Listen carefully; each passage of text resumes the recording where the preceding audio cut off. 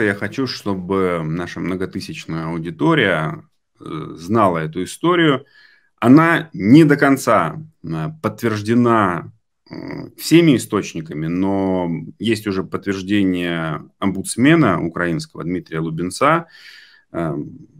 Российские террористы убили двух украинских подростков в оккупированном Бердянске Запорожской области. Ранее оккупанты обвинили подростков в партизанской деятельности.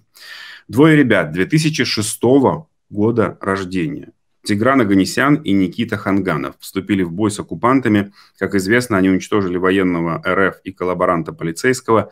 После перестрелки захватчики заявили о ликвидации ребят, написал, написал омбудсмен.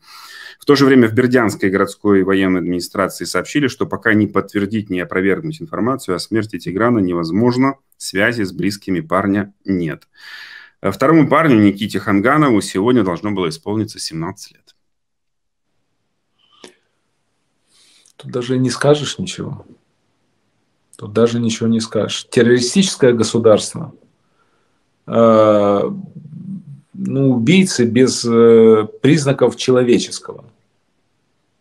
Это, могут они бросить ядерное оружие, вы спрашиваете? Могут. Могут взорвать Запорожскую АЭС? Могут. Могут детей убивать? Могут. Они это делают.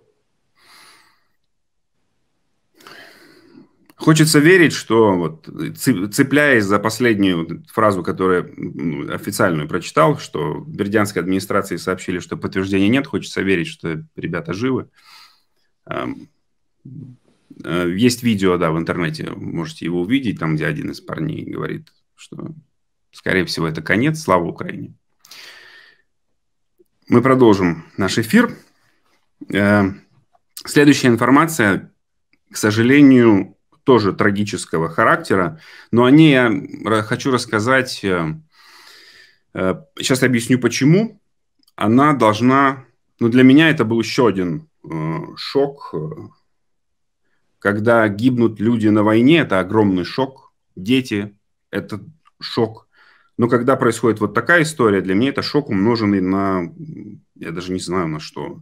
По данным следствия, сегодня, 25 июня, водитель автомобиля Mercedes-Benz, двигаясь по автодороге Крапивницкий, Кривой Рог, Запорожье, неподалеку от ПГТ Новогородка, Новгородка, простите, нарушил правила дорожного движения, превысил скорость, не справился с управлением, допустил съезд авто в кювет с последующим опрокидыванием. В салоне легковушки находились пятеро пассажиров, все выпускники одной из местных школ. В результате аварии трое 16-летних девушек, все 2006 года рождения, погибли на месте происшествия. Еще двое пассажиров, парень 2005 и девушка 2007 года рождения, получили телесные повреждения. Установлено, что за рулем автомобиля находился пьяный сержант полиции из Крапивницкого. Его задержали, ему светит 10 лет лишения свободы с лишением права употреблять, управлять транспортное средство. Пьяный сержант полиции вез пятерых школьников в машине, трое из которых погибли на месте. Ну, для меня это... Мы понимаем, что есть разные люди, и подонки есть, и... Ну, ты человек, которого поставили защищать закон. Ты посадил пьяный в своих машину детей. Ужасно.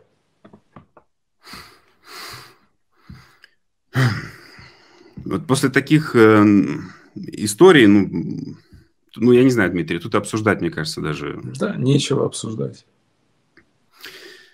Очень много вопросов, Дмитрий, возвращаясь к тому, с чего мы начали. Это история Пригожина и его путча, повстания, мятежа.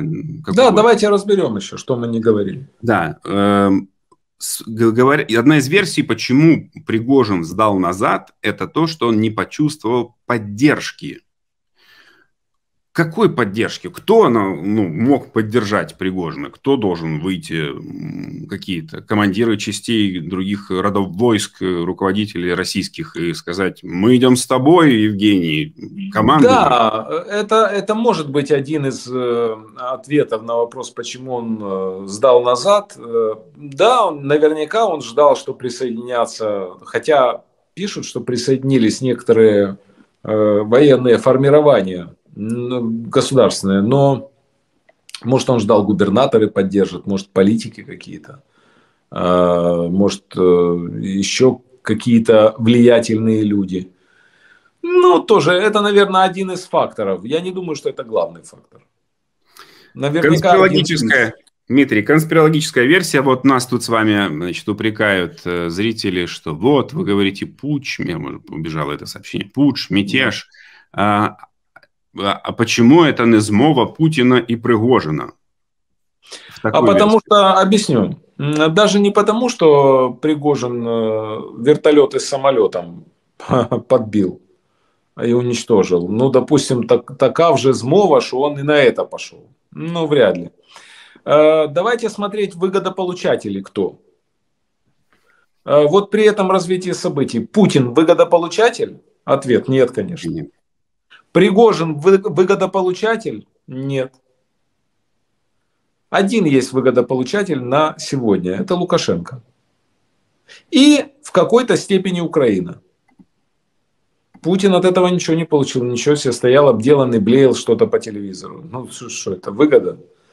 У тебя захватили несколько городов миллионников и к Москве приближается уже. Конечно, нет. Я не верю в сговор. Это был путь. А если бы Пригожин не пошел на Москву, ну, не лично, а вот эта колонна, а окопался бы в э, Ростове, как все шутили, вот в Ростовской Народной Республике. Э, такой вариант э, мог быть? Это очень интересный вопрос на самом деле. Такой вариант мог быть, но это говорит об амбициях Пригожина. Его амбиция была не Ростов, его амбиция была Москва, президентство, власть. Вот что было его амбицией. Ростов, ну хорошо, первый парень на селе, а в селе две хаты. Ну, окопался он в Ростове, допустим. Угу. Сидит в бункере там, ну да. Ну, и то можно стянуть силы, устроить бойню посреди Ростова. Что, не стянули бы, стянули бы. Кто бы ему дал там сидеть? И время работало против него. Надо стремительно делать такие вещи. Или ты сразу все решаешь, или у тебя нет шансов на успех. А, поэтому, конечно, он пошел на Москву и правильно сделал, это логика. Э, смешной был комментарий э, от имени вот, россиян, э, что все, что мы узнали сегодня, если на нас, не дай бог, нападет НАТО, максимум, что мы сможем, это перекопать асфальт и позвонить Лукашенко. И то, ни то, ни другое не поможет, скажу заранее. В таких случаях, мы много раз с вами обсуждали, Дмитрий, есть ли в окружении люди у Путина, которые там, при, там, при договоренности, например, с Западом, могли бы похлопать его по плечу со спины в какой-то непринужденный момент и сказать, э, Владимир Владимирович, вы э, арестованы, то есть задержаны. Такие люди наверняка есть, но мы пока не знаем, кто они. А, это с одной стороны. С другой стороны, я рассуждаю вслух просто. Вы же видели историческое заседание Совета Безопасности Российской Федерации перед э, нападением на Украину, перед полномасштабным нападением на Украину. Вы же видели эти лица и слышали эти речи, эти голоса. Это же преисподняя. Вы же видели, как себя вели там все эти руководители. Патрушев, Бортников, Матвиенко. Особенно хорош был Нарышкин. Нарышкин был прекрасен. Что надо? Что я сказал? А как, как надо? Скажите, как надо? Я все скажу, только, только не ругайте. Это что, политические деятели, это лидеры, это э, люди, с которыми можно на равных советоваться, разговаривать, спрашивать их мнение. Это вообще кошмар рабы. Мы будем следить за тем, как будут развиваться события, э, но если вот войска, которые э, состоят в ЧВК «Вагнер», пойдут в Беларусь, западные спецслужбы и наши будут отслеживать, где они будут находиться. То есть, понятное дело, 25 тысяч – это не горошинка. Лукашенко их не пустит, мне кажется, в Беларусь. Нахрена они ему там? Они же, это же повышенная опасность, источник опасности. Что такое вагнеровцы? В основе своей зэки, сидевшие за все самые тяжкие преступления. Э, у него спокойная страна, преступности практически нет. Ему нужно это. Поэтому я сомневаюсь, зачем ему эта банда в Беларуси. Я сомневаюсь, что он пустит их. Э, Пригожин пустит, если Пригожин доедет туда. Ну, я еще раз хочу сказать, по логике событий, Путин должен, нет, Путин обязан его убить. Пригожин – это предатель. Путина классификация четкая. Мне об этом говорили многие люди, которые его хорошо знали.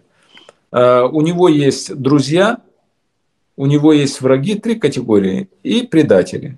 Угу. С друзьями понятно, какой разговор, с врагами нормально, предатели – это все. Э, Пригожин с ним ел, пил из одной тарелки. Он Пригожина сделал миллиардером, он его, его сделал. Кто знал, какой Пригожин, кто это? Поэтому, конечно, Пригожин его предал. Пригожин его унизил, публично унизил. Это еще страшнее, чем предал. То есть даже не так. Мало того, что его предал, он еще его унизил. И теперь смотрите, законы Паханата, законы э, лагерной страны, зековской страны. Если после всего ты его не грохнешь, значит ты слабый, грош тебе цена. Так с тобой можно обтянуть, можно ноги вытирать. Ты не сильный. Поэтому за то, что сделал Пригожин по законам жанра, Путин должен его убить. Ну а дальше давайте запасаться попкорном и наблюдать. А что будет с вагнеровцами в таком случае, если их Лукашенко не пустит к себе на территорию? Э, но опять-таки есть варианты. Э, давайте рассматривать. Вариант первый. Вернутся на позиции и будут воевать с Украиной, с украинцами. Вариант второй. Разойдутся по домам. Вариант третий. Пойдут в тюрьмы за мятеж. Угу. Вот выбирайте любой вариант. Все годятся. Угу. Уважаемые зрители, у вас есть возможность задать несколько вопросов Дмитрию Гордону. Пожалуйста, прямо сейчас в комментариях пишите их. Я буду зачитывать самые интересные. Вот один из вопросов спрашивает вас ваше отношение к Юрию Шевчуку, тот, который ДДТ, и э, не планировали ли вы сделать с ним интервью? Я его очень люблю, уважаю его. Это часть э, моей истории, моей жизни. Юра замечательный, честный, чистый человек. А, интервью с ним делал. Есть оно в Ютубе. Вы можете его посмотреть. Он, э, человек, э, один из символов времени надежд, так скажем, угу. которое не сбылось.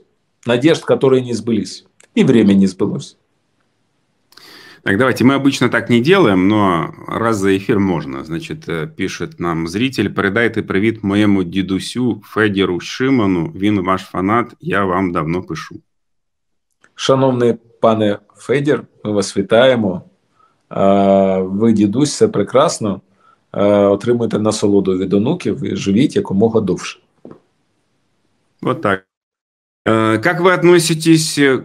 О, господи, Странные вопросы. Так, где Шойгу спрашивают? Зрители Дмитрий, вы знаете, где Шойгу? Думаю, у Герасимова.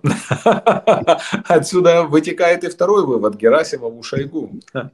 А, а что они делают, друг? Кто знает, где Шойгу? Неизвестно. А, ну, его ситуация тоже плачевная, кстати. Его тоже унизили так, что Э, как теперь авторитет восстанавливать перед армией, я не представляю. Вот тоже миллиардер долларовый. Э, человек, который во власти больше Путина, между прочим. Угу. Так, в такую халепу влезть. Международный военный преступник, которого ждет только одно, или пуля, или трибунал. Но у него выбора третьего, третьего ему не дано. Путин еще может соскочить. При наличии разных договоренностей, да, да, да, Путину есть чем торговать. У Шойгу нечем торговать ему даже. Он соскочить не может, у него выхода нет. Ну, посмотрим. Может, Путин будет торговать с учетом Шойгу. Хм, кто знает.